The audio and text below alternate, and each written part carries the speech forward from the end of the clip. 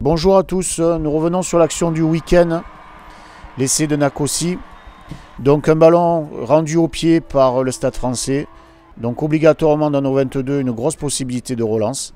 Nous avons Nakosi qui passe un peu à l'aveugle mais qui retombe dans les mains de Savea.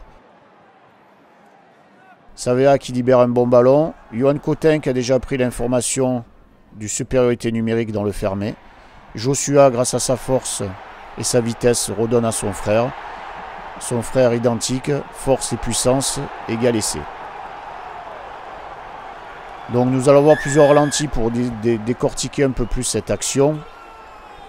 Donc sur le prochain ralenti, nous allons voir Johan Cotin. Cotin qui prend l'information pour jouer cette supériorité numérique.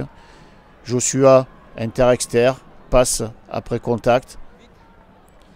Grosse percussion sur Nicolas Sanchez. Nous allons revenir sur, euh, sur ce fait de jeu. On voit dans cette situation que Nakosi positionne bien son ballon afin de pouvoir repousser le plaquage de Nico Sanchez. Là on voit Joshua, inter-exter, Rafu, percussion, passe au soutien derrière, son frère à l'identique, vitesse, ballon comme on disait bien positionné, percussion, et c'est qui libérera nos rouges et noirs.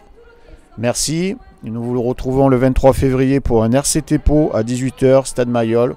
Nous comptons sur vous pour venir nombreux pour encourager nos rouges et noirs. Merci.